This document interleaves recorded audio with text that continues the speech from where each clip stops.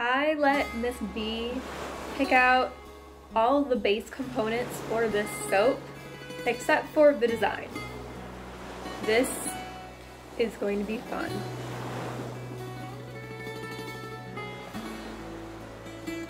We will be using clear Brambleberry Melt and Pour soap, blue slushy mica, orchid mica, and hot pink mica for the colors, fine silver rainbow glitter, and sea salt, mermaid and ocean themed embeds,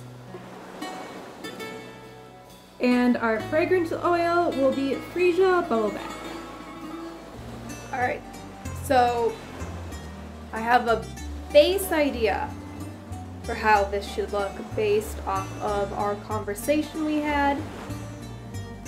So, I am going to play around a wee bit with some ideas for designs and then I will get started. To start off the design, I am mixing the sea salt, blue mica, and eco glitter together in the melted soap base. The salt likes to clump together, however, I was not aware of that fact until I poured the soap base into the mold. Once the mica, salt, and glitter was mixed into the soap base, I added some of the fragrance oil. The scent really reminds me of my childhood and brings up a lot of fond memories. As you can see, some of the salt clumped up at the bottom of my measuring cup. I just scraped all the excess soap and salt out of my cup and into the first layer. Then I sprayed some rubbing alcohol on the layer to get rid of the bubbles and waited for the layer to harden.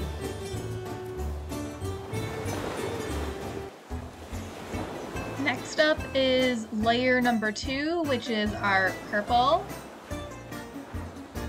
I love this so much. The glitter with some mica powder and clear like or clear soap base is so pretty. It's like looking at a nebula, and there's actually a couple uh, galaxy themed soaps that I kind of want to try making based off of how beautiful this portion of the soap making process looks. Now we're on to the pink layer. I'm adding the fragrance oils to the clear soap base first and then adding my pink mica powder and the eco glitter. This is such a fun soap design and I'm gonna have to do more like this in the future.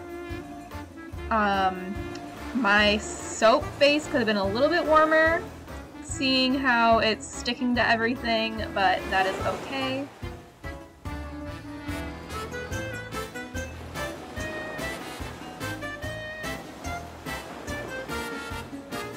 Next, we're going to mix up our mermaid tails and seashells for the front of the soaps. This is just a chocolate mold that I bought. Always go silicone, not plastic.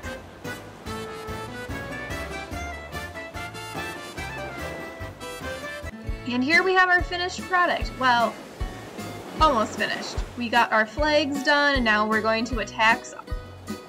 Now we're going to attach all of the embeds. I sped this up quite a bit because this took me uh, quite a while longer than I was expecting it to.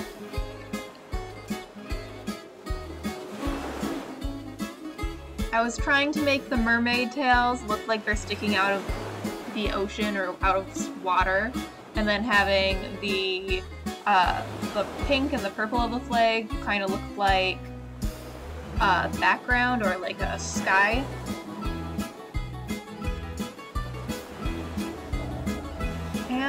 There we have it. Thank you for watching. If you like, please give us a thumbs up and subscribe and have a wonderful Pride